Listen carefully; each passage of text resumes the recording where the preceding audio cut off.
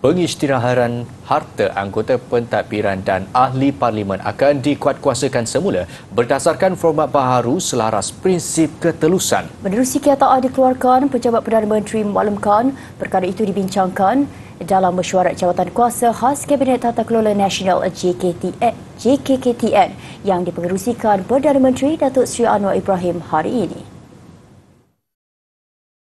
Jelasnya format baru itu akan dibentangkan dalam mesyuarat jemaah menteri dalam masa terdekat. Antara lain, turut dibincangkan adalah langkah pemantapan tata kelola badan berkanun persekutuan BBP melalui pengukuhan pelaksanaan peraturan dan prosedur pengurusan badan berkenaan.